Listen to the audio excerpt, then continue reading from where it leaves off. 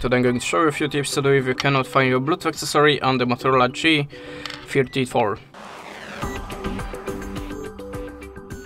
So if you have a problem with the Bluetooth gadget, always start from the simplest way, so switch off and switch on again the Bluetooth connection to restart it. You can also try to restart your phone. It's obvious, I know, but sometimes it really works, so just try it.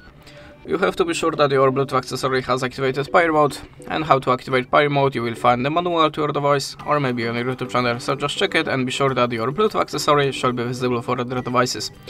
But it's still not for your phone, let's open the settings, then go to the system and choose reset options. Select the Wi-Fi mobile and Bluetooth, tap on the reset settings and tap on the button again. After that, look again for your device in the Bluetooth list.